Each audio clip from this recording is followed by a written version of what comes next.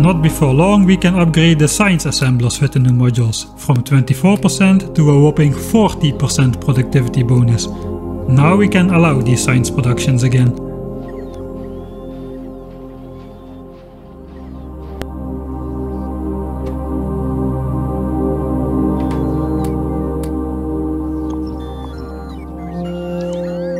Soon after, the labs are upgraded as well. And now we have theoretical access to all the non-infinite techs. What oh what will we choose first? Something exciting, like artillery? Or plain old boring mining productivity or bot speed? What about Spidertron perhaps? Decisions, decisions.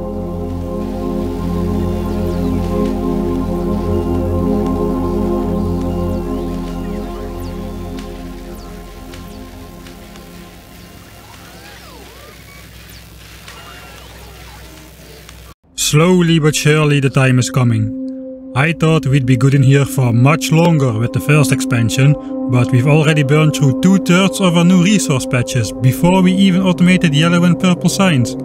We need to expand yet again. So to give yellow and purple science production a head start, let's first research one tech that doesn't require yellow science and one tech that doesn't require purple science, before choosing the very exciting tech of Mining Productivity Tree. Yeah, we'll get to the cool stuff soon, but let's be responsible here and first get our hands on another 10% boost to our ore patches reserves and general rate of production, including for the free infinite oil source. But why Logistics 3?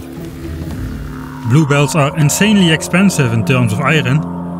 Indeed, I am planning to stick with red belts for most of the base, but having access to blue belts can help solve some bottlenecks here and there. Especially the underground blue belt is super useful as it has 2 extra range compared to the red one. In fact, my battery production setup has been waiting for blue underground belts since its very creation, as I couldn't neatly lead out the battery belt from down below with only red belts.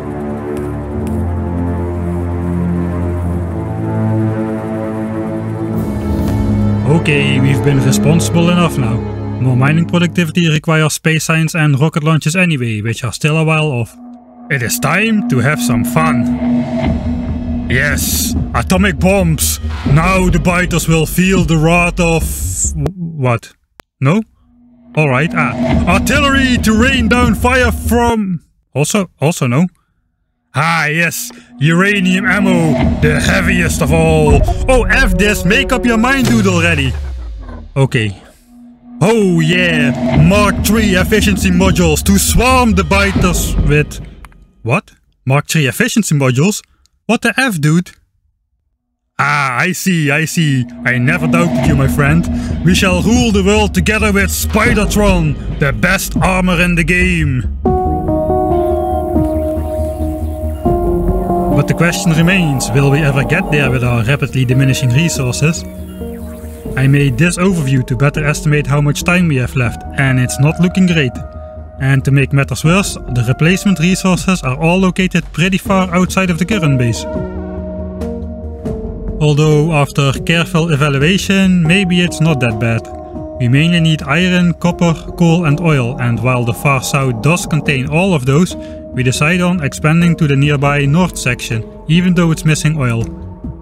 But as the coal patch is very rich, it will give our coal liquefaction plant an opportunity to shine and provide us with all the oil we need.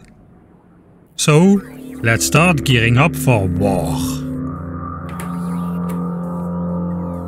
First we scramble together the ingredients to make the two Mark III efficiency modules needed to make the Spidertron.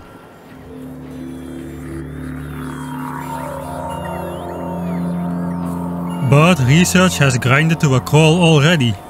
We are out of purple science. Because we're out of productivity modules. We already applied the triple requester chest trick and while upgrading the assemblers to be 3 times as fast won't help solve the core problem of insufficient resources to make red chips, it does allow us to manually give production a quick boost by hand inserting a couple of stacks.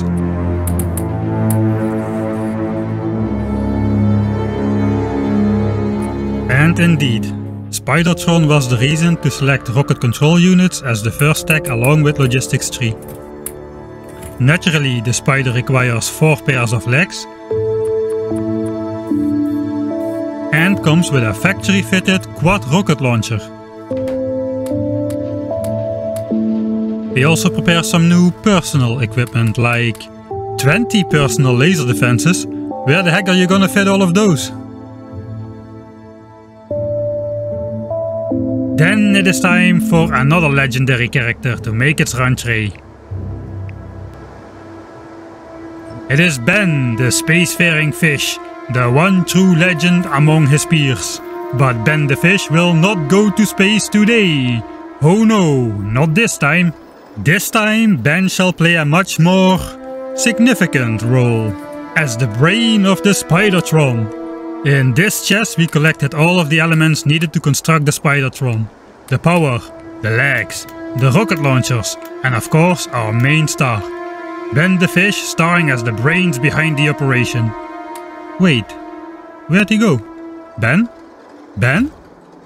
Oh, whoops. Uh, sorry Ben, please forgive me for automatically putting you in my personal trash bin. Let me save you from the claws of that logistic bot. Phew. Fortunately, Ben has the memory of a fish, and this incident won't invoke any feelings of revenge to come back to haunt us in the future. Anyway, it is time to meet Spider Ben.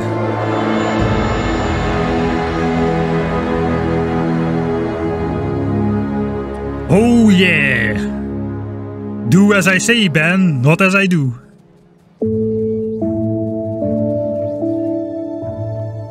Now let me introduce you to the real strongest armor in the game. The Spidertron Enhanced Mark II Power Armor. Yes, those two elements now can function together as a single cooperative armor greater than the sum of its parts, with both pieces having a distinctive task.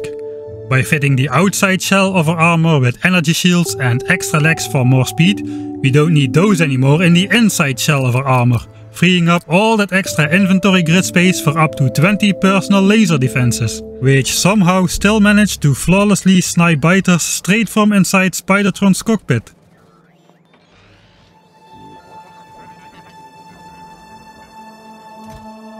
Now that I've got the toys in front of my nose, I can't control myself any longer. I'm craving for that good old booze of catharsis. Let's go!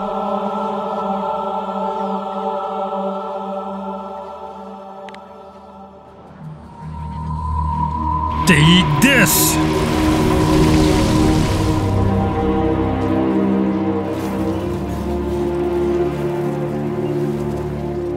Hand that!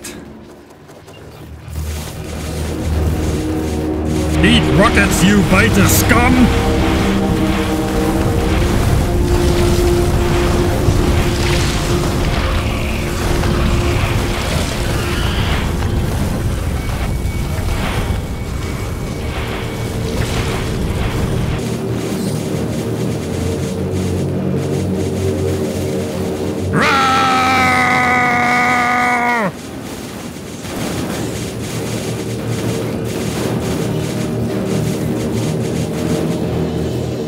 That all you got?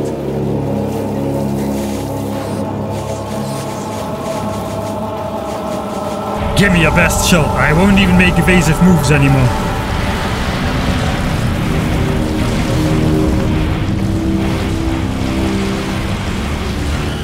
This is pure power!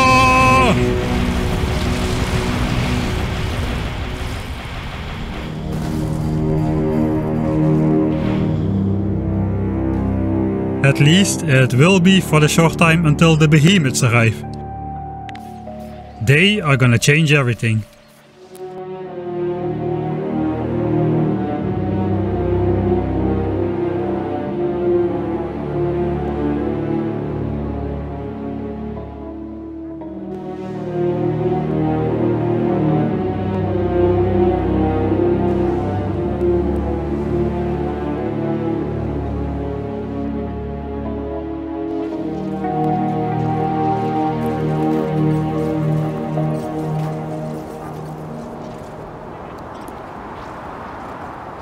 But until that moment arrives, we are going to enjoy the heck out of being OPSF. Yeah, baby!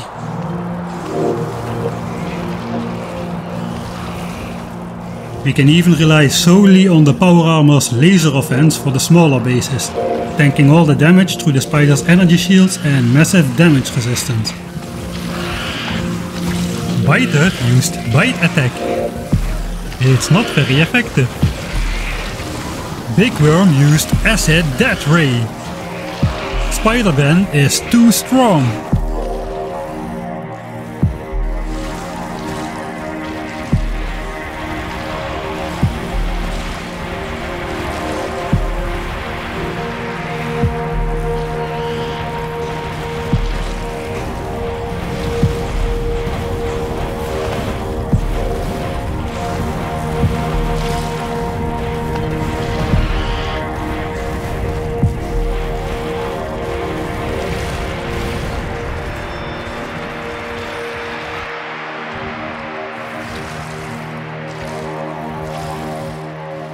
Iron Patch cleared.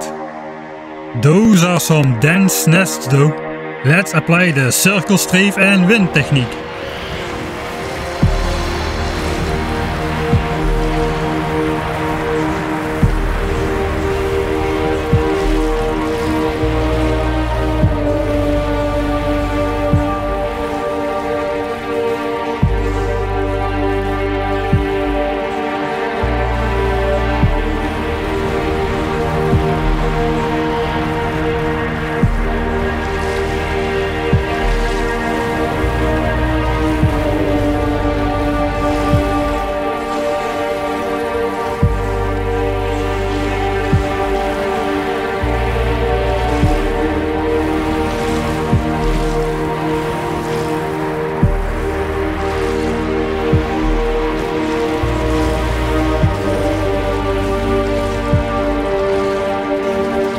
The biters have the hardest time even taking down my shields, let alone make a dent in the massive hit point bank of Spider-Man himself.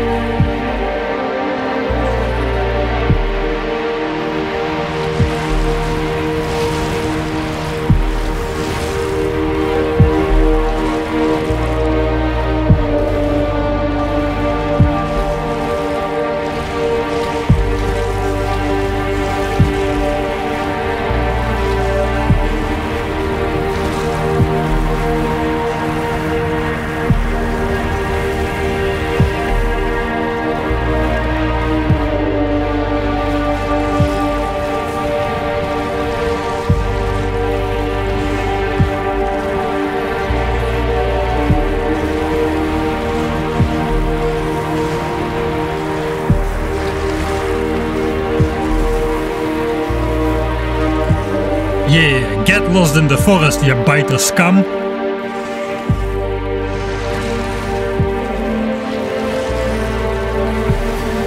We don't even need rockets for the small expansions.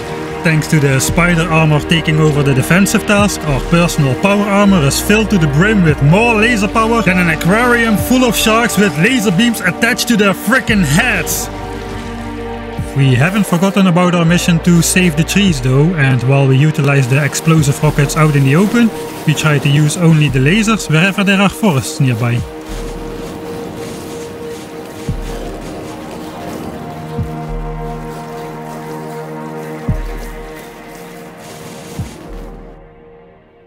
And that's the coal source cleared.